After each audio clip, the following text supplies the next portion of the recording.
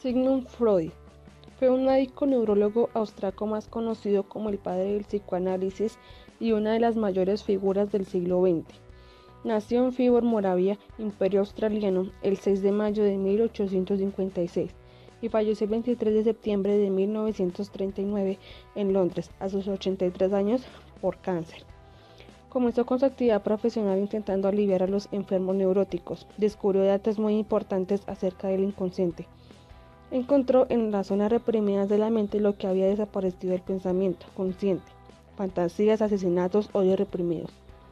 La gente no creía en sus teorías y pensaban que sus ideas eran infamantes y al final triunfó, pero su lucha no había terminado al parecer. Fue una persona muy inteligente desde que nació. A sus 12 años hablaba seis idiomas. Estudiaba y leía obsesionadamente. Era hermano de seis hijos, más era el único que tenía una habitación propia, pues lo ayudaba a estar solo a leer y a dedicarle su tiempo a la literatura.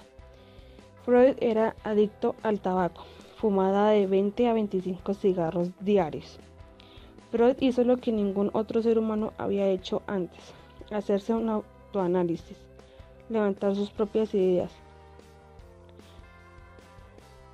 Descubrió el camino irreal hacia lo inconsciente, los sueños, relacionaba todo lo que llegara a la mente sin límite alguno. Cuando empieza a realizarse su autoanálisis comienza una depresión. Estaba mirando lo que él llamaba el montón de estiércol, que son sentimientos que le producían vergüenza y ansiedad.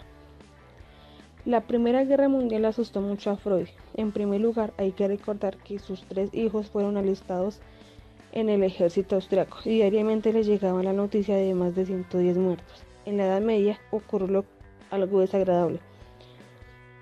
Su peor enemigo ordenó quemar todas sus obras. Él quiso que lo quemaran primero a él, pero confirmaron que confirmaron en quemar su mayor tesoro. Después de todo esto, Freud decide tomarse unas largas vacaciones en el campo. Sus mayores aficiones eran leer, jugar con sus perros y recortar flores.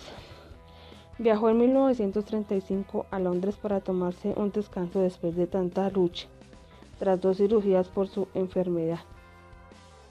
Falleció el 23 de septiembre de 1939.